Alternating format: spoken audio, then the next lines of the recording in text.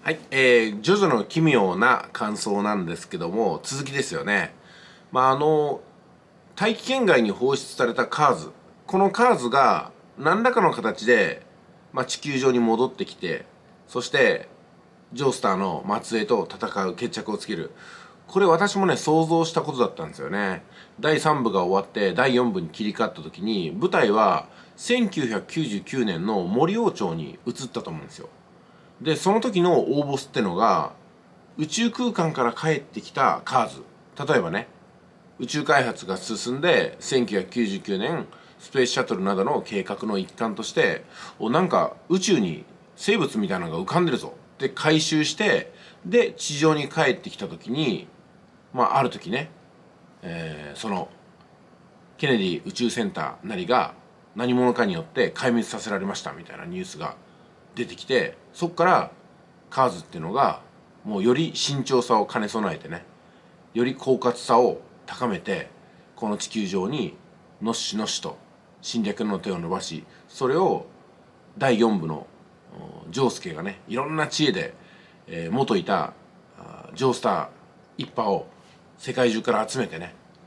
また討伐に向かうみたいなストーリーがあるのかなと思いましたけどもまあこれね荒木博彦さん的に言えば漫画家的に言えば第3部とほとんど変わらずに舞台と時代変えただけだみたいなことになるんで多分こういうのはねやらないんだろうなっていうのは途中で思ったんですけどね。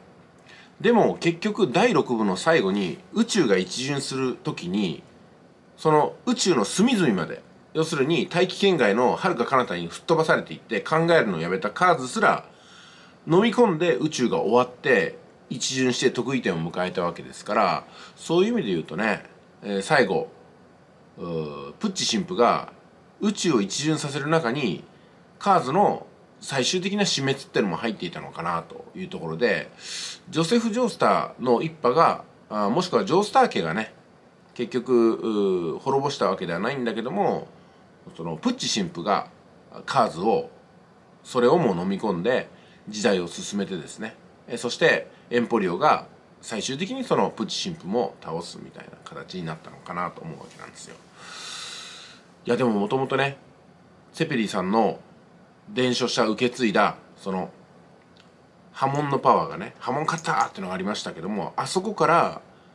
ジョナサン・ジョースターがさらにパワーアップした波紋の力を受け継いでその波紋の力を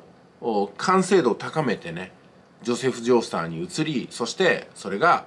空城城太郎に移った時にスタンドという形でね進化を遂げて。でそのスタンドも変容していってどんどんスタンドっていうものは特徴をつけてですね。第6部では糸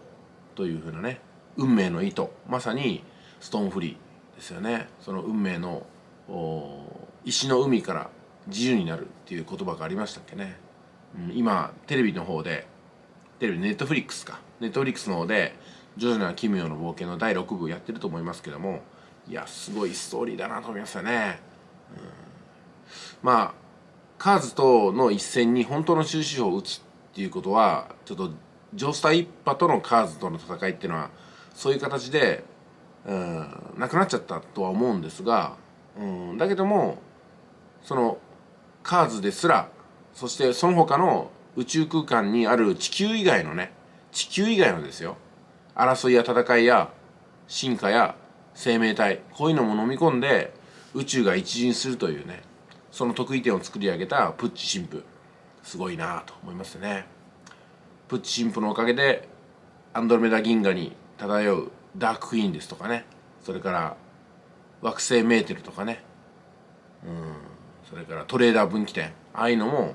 結局トカガ星とともにですか？その他にもいろいろね出てきそうですけどね。あの銀河鉄道999に出てきた旅ってのはなかったですからね。あガルマンガミラスとかスターシャ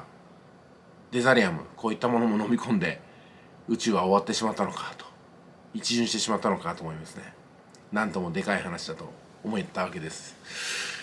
いやいやなんか話が尽きないですね前田さんね。お疲れ様でございます。それではまた連絡ください。